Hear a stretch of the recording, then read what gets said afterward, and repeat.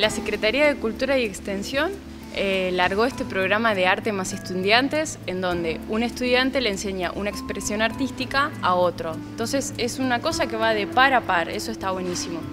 Y largó la convocatoria en junio y nos presentamos tres proyectos de tango, guitarra y danza clásica y contemporánea.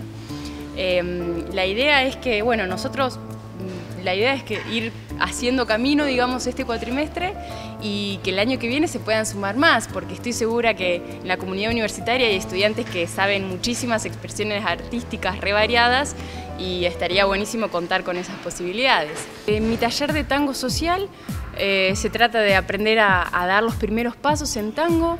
Em, la idea es no, no, entrar con mucha técnica, porque yo tampoco estoy capacitada profesionalmente en ese sentido. La idea es entrar más por el lado lúdico, em, con juegos que, en donde empecemos a desestructurarnos, a, a entrar en el tango, este, con, por ahí con una música un poco más moderna.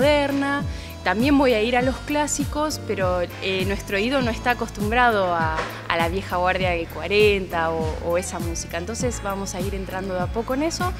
Y, mm, bueno, el, tango lo que tiene más lindo es el abrazo, así que eso es lo que tiene en particular con el resto de las danzas. Eduardo, contanos eh, de qué taller estás a cargo vos.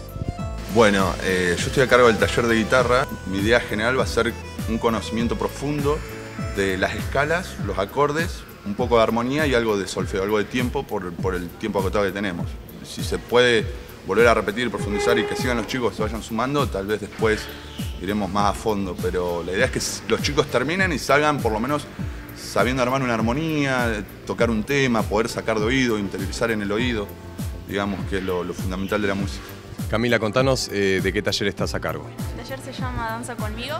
Eh, bueno, yo propongo em, enseñar la historia de la danza y voy a enfocarme en tres modalidades particularmente, la danza clásica, la danza jazz y la danza contemporánea.